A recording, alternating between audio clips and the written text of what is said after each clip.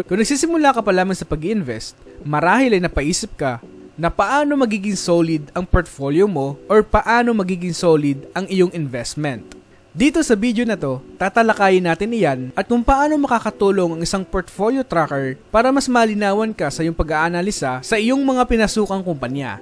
Bago tayo magpatuloy, nais ko munang ipaalam sa inyo na ilalabas ko na itong aking portfolio tracker. So itong portfolio tracker ko ay sinubukan ko na for almost 12 months para makita ko ang capability ng aking portfolio na ginawa. Ang kagandahan dito sa portfolio na ginawa ko, ito ay automatic na nagpo-provide ng current share price ng mga kumpanya and also makikita din natin dito ang dividend income na pinaglagakan natin ng ating perang pinaghirapan. Bukod dito, makikita din natin ang breakdown ng ating portfolio.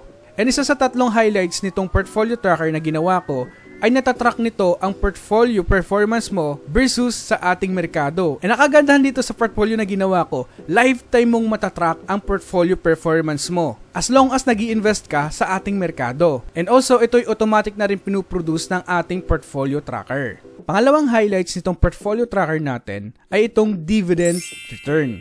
Ang kagandahan din dito, nakikita natin ang total returns ng ating portfolio sa pamamagitan lamang ng dividendo na binibigay ng bawat kumpanya sa portfolio mo.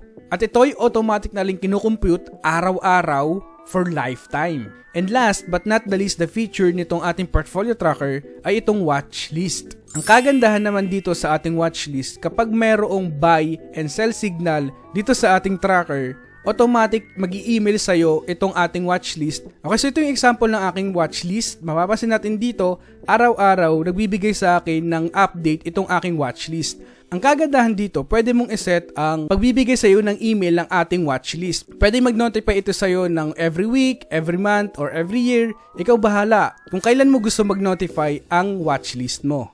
Ang kagandahan dito, libre ko lang itong binibigay sa aking mga subscribers kasi gusto ko lamang makatulong sa inyo. Ngayon ang tanong, paano nga ba natin ito makukuha? Ang gagawin mo lamang ay mag-comment ka sa pinaka-latest video natin. So ngayon ang pinaka-latest video ko ay itong 2023 recession. Isa-surprise ko sila kung sino yung kauna-unahang makakatanggap nitong ating portfolio. Okay, so ikakopy ko lang yung link ng ating video. Pipili na ako ng kauna-unahang winner na makakatanggap ng aking portfolio tracker.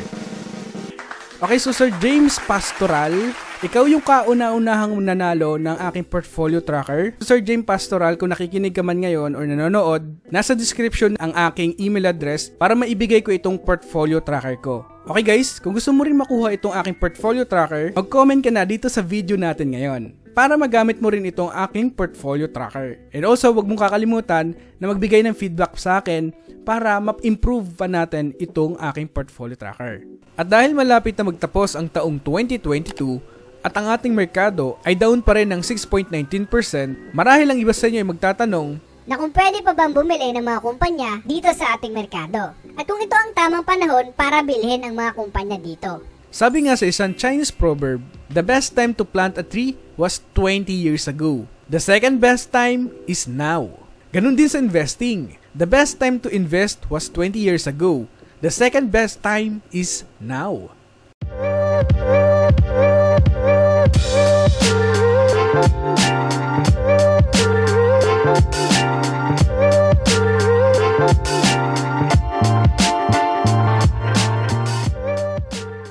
Pinakamalaking nagbibigay ng percentage total return sa akin ay ang kumpanyang DMC. Sila ay nag engage sa construction, real estate development, power generation, mining, water distribution, and also manufacturing. Today, ang aking total return sa DMC ay umabot na ng 239.99%.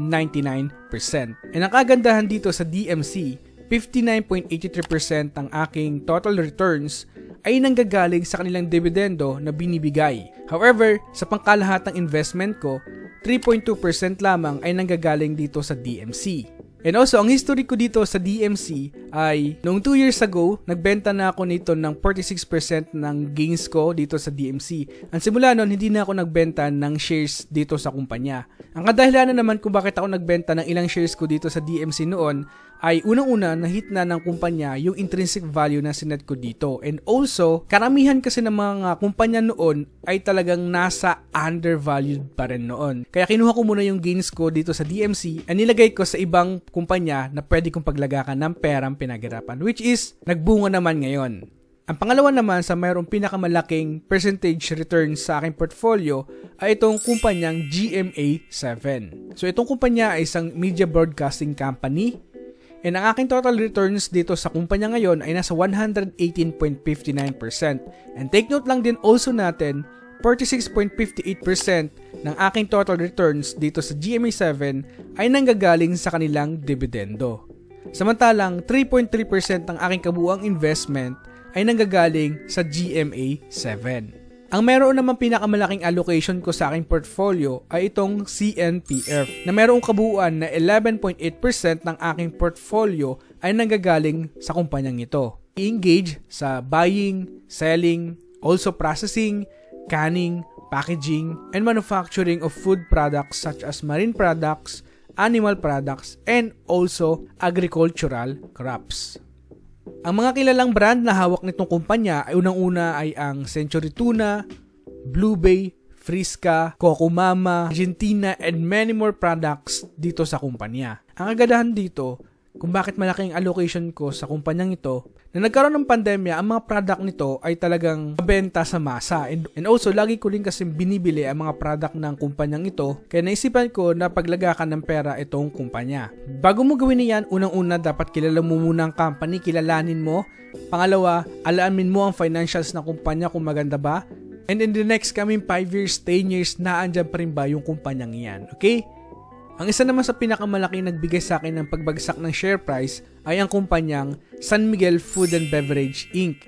na mayroong ticker symbol dito sa ating bansa na FB. Nakapokus naman sila sa poultry and livestock operations, feeds and flour milling, dairy and coffee operations, franchising, and also animal rotation manufacturing and distribution. Ang mga kilalang brand na hawak ng kumpanya ay ang Bimeg, Magnolia, Monterey, San Miguel Mills, Pure Foods, and many more products ng kumpanya. Ngayon, ang aking investment dito ay bagsak ng 29.12% and also dito sa kumpanya ay nakapag-double down na rin ako. At itong FB ay merong 5.1% ng aking portfolio ay nanggagaling dito sa kumpanya. Isa sa kagandahan dito kung bakit ako nag-invest because nag expand itong kumpanya and also maganda ang fundamentals din nito. Ngayon na bumabagsak ang share price nito, I think it is the best time para sa mga nagabang dito na natignan at reviewin itong kumpanya. And today, 27.2% ng aking kabuang portfolio ay nanggagaling sa cash. Ang ibig lang sabihin nito kung bakit ganito kalaki ang cash available ko kapag bumababa yung mga share price ng mga kumpanya, lalo na nasa aking portfolio and also sa aking watchlist, ay tinatig advantage ko yung pagbagsak nila and binibili ko ng mas mababang halaga based sa aking valuations. At lalo na ngayon na nasa down categories pa rin tayo, dadagdagan at dadagdagan ko pa rin yung cash available ko dito para pag may mga opportunity, lalo na sa mga katulad natin na value investor or long-term investor, ay matitake advantage natin yung pagbagsak ng mga share price ng mga kumpanya. Ito naman ang ibang hawak ko na kumpanya. And today, meron akong 21 na kumpanya na pinaglagakan ng aking perang pinaghirapan. Now, kung compare ko naman ang aking performance sa capital gains lamang compare sa ating PSEI, mapapasin natin dito ng aking capital gains ay umabot ng 6.49% at samantalang ang PSEI ay down pa rin ng 8.57% simula nang ginawa natin itong portfolio. At ang kinita ko naman sa pangkalahatang dividendo ng aking portfolio ay umabot ng 5.75%.